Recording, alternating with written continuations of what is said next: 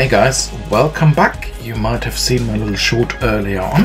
I've had a new parcel coming through the door yesterday actually, courtesy of Zero Zero Robotics. Um, as you can see, I haven't undone it yet, so I'm going to do this unboxing live and we'll see what's going to be in there. I guess you can guess already what's likely going to be in here bearing in mind that you've seen already my um, Hover Air X1 Pro Max review, a beta testing videos I should say, for a while.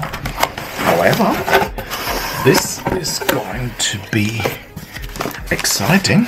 So, first unveil of the box, and I guess what I do is I get all the various bits and pieces out. So let's start here. This is the power case for the Pro Pro Max. I'll show you the back side as well quickly. Put that here. Then we have the multifunctional carry bag for the Hover Air as well. It's quite big. And then a bit of padding. Put the box on the side now. We've got the, I guess what probably is going to be the beacon in its case. So I suppose let me start with the multifunctional carry bag nice looking box. Get this out.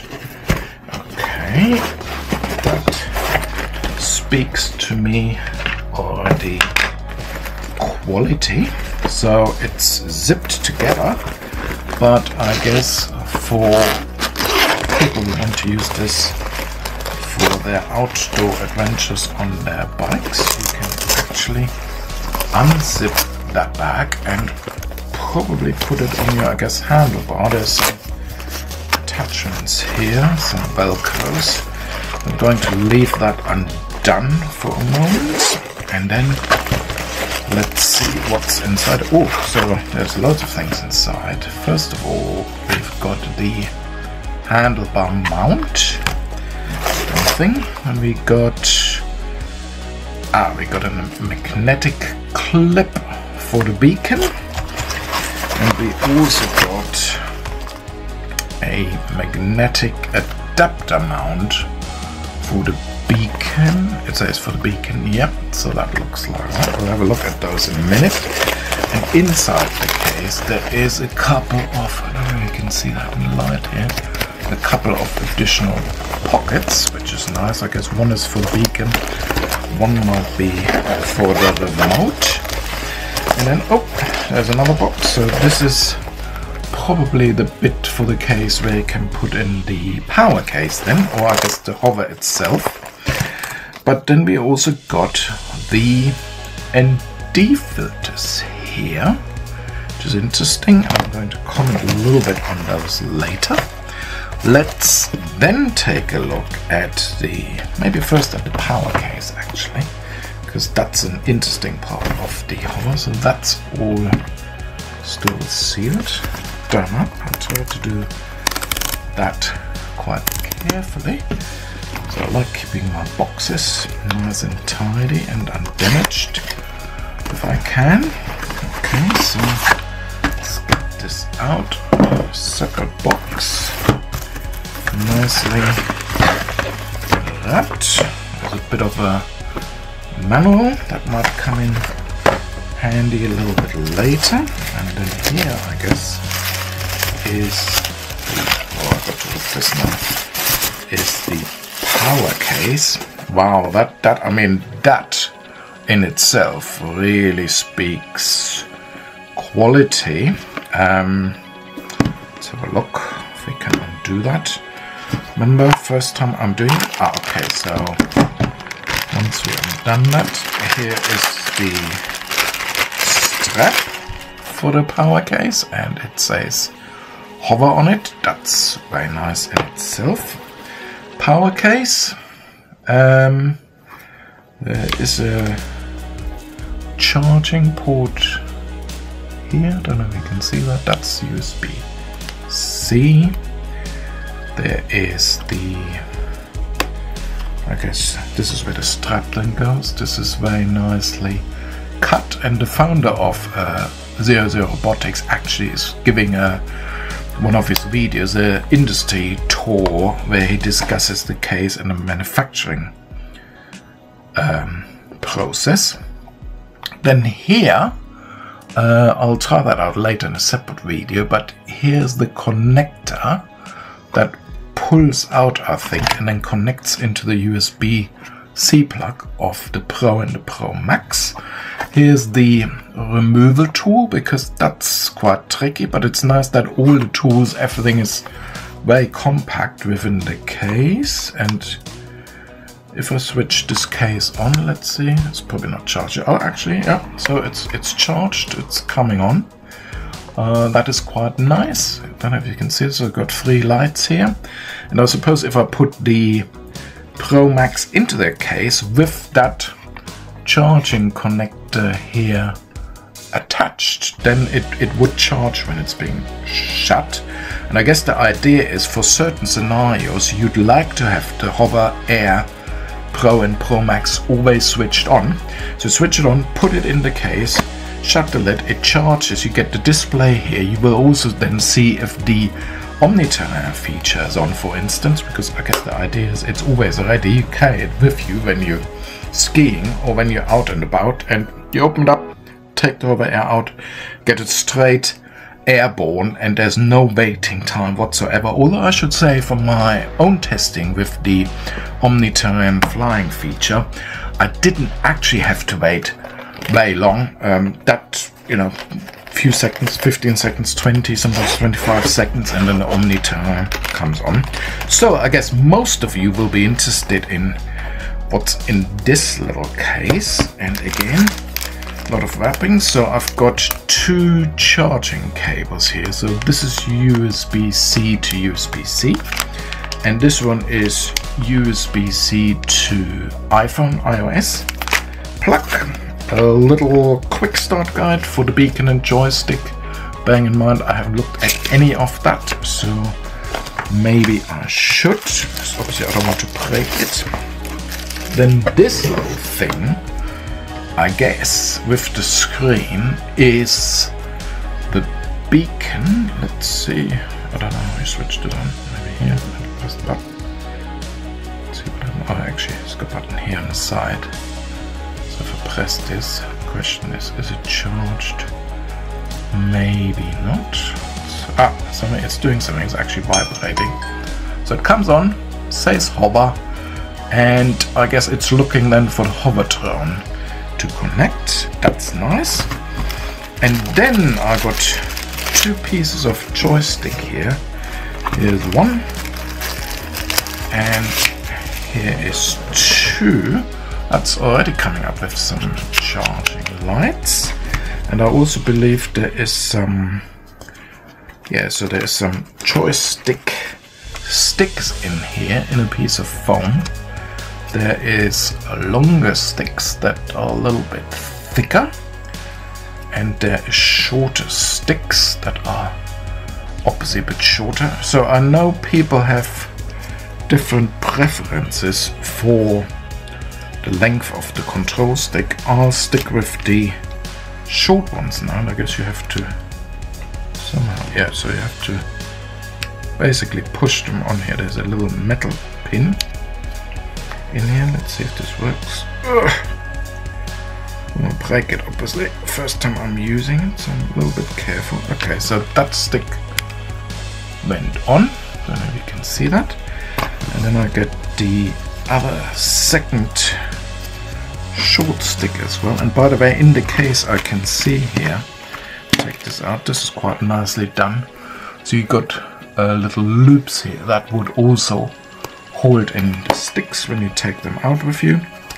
Guess that's quite nice. So let's put that other little stick also into the joystick and then let's see how this connects. So Um, there's only one way to connect this because you've got these, I think it's 10 pins here and 10 pins there. So you click that in and it connects. Brilliant. Then you got these side pins here. That's uh, six, well, three and three on each side. So click that in here. Can't really go any anywhere along. And then I think what the idea is, I've seen Rick doing that. Let's see.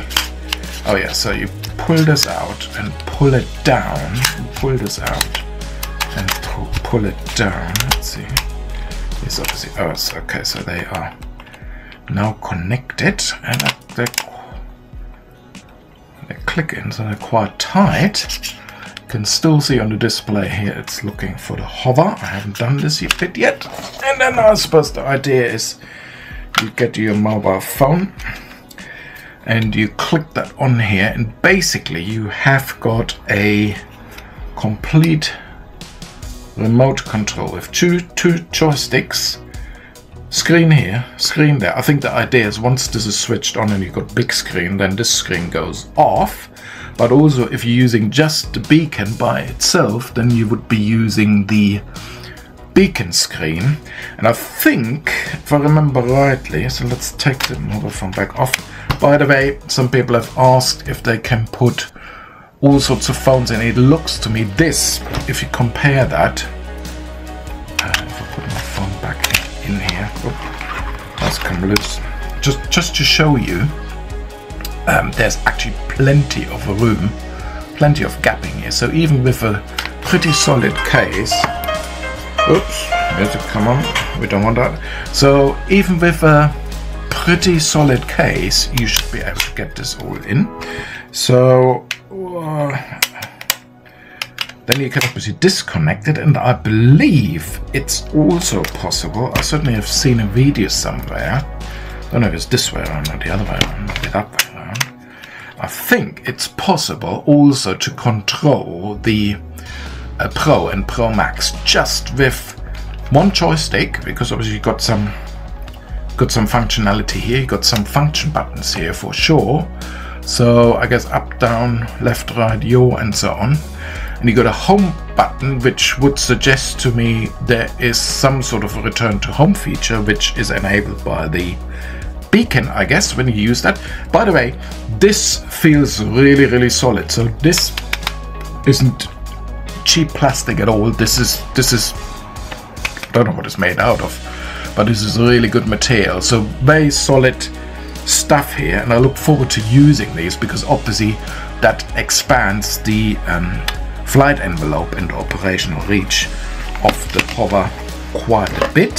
So let's see, what I've shown you? I've shown you the beacon and joysticks, briefly at least, and obviously I will test all this out in the field and then I think what that leaves us with is the bike mount which uh, Rick has also tested already. Okay so I guess you put that around the handlebar and hook it in which is very nice. Then you got this sort of GoPro mount on here which you can first of all you can turn it around and we can attach additional stuff to it. That's great. What have we then? We've got a magnetic adapter, presumably for the bike mount. So you could put, oh yeah, so basically it's got a tripod screw here. I think that's a quarter inch screw. And it's got these these flaps that you can flap up and you could attach it to the mount here so you can very quickly get this on your bike, off your bike and presumably, let's see how this could work. Obviously I haven't read any of the manuals yet, so somehow I think, oh yeah, so I guess, yeah, so here we go. I think this just clicks in, so clicks in like this, this is the beacon bit now, and you attach it on the handlebar of your bike with with this holder and I suppose the idea is need to read up on this and ask the guys from Zero Zero Robotics I think the idea is that the Pro and Pro Max then basically will follow you around very nicely done it once it's clicked on it's actually very, very, very solid, sitting on there. Um, and then finally, what else have we got? So we got, this is a magnetic clip for the beacon. Uh, oh yeah, okay, so brilliant. You can also put the beacon on here and you can clip it on your coat, on your clothing. I know some people have asked for that, but but once again, once it's attached to you, the idea is that the hover Pro or Pro Max will follow you around, presumably similar to what some of the other drones, I think Skydio 2, someone mentioned on Facebook previously have done. Very, very nice, very compact, Ooh, comes across very stable, but at the same time not overly heavy. So it's a bit heavier than a, uh, than a sort of microphone, external microphone you would attach to yourself. Solid material, nice screen here. Have to see if I can get a screen protector. Maybe, I think it's a, is it? I think, I'm not sure if it's a touch screen or not. Might not be. We'll need to try this out. Also, it could be that I still need to have to do a firmware update first uh, before I can actually use that. I suspect that might be the case. And then finally, what also comes in the box is this set of, I think, Rixset 4 SD, sorry, not SD, ND filters.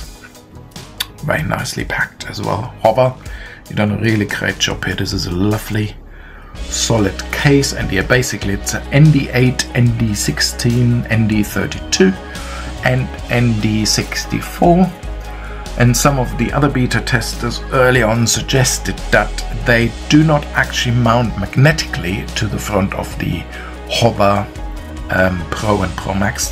They actually slide in, which means once you slip them in, there's no chance really that you should lose them unless you pull them back out and pull the other cover or another of the ND filters in. So that should greatly improve further the quality of the videos coming out of the um, Hover Air X1 Pro and Pro Max. And I really look forward to now to, well, test all this new stuff out. These accessories are amazing. Actually, you see, for instance, I haven't seen that early on, there's actually a wheel on here as well. I don't know if you see that. I Don't know what that's for. I suspect that's probably a wheel, could be here, so underneath. That must be a wheel for the gimbal, once you're using that to control the Pro Max with. And I'm just looking here, so that that's a stick. That's a stick with a wheel. Um, so the sticks are different. You need to charge all these separately, I think. Just looking if they've got charging ports. Must have. Yeah, so there's USB-C charging ports on here. And then the, the beacon part, which I believe you can use by itself, but also in connection with the joysticks. Now, the exciting thing for me is, and I think I mentioned this before, I love my X1. And in fact, I have two because I use it for um, educational stuff. I work with colleges and universities, training them on drones and AI. And as part of that, I got uh, two X1s when they first came out, and I really look forward to using them still. And I believe, um, I mean, Hover Air, you can correct me, Zero Zero Robotics if I'm wrong, but I believe that the beacon and the joysticks will also be working for the um, the, the first one, the Hover Air X1.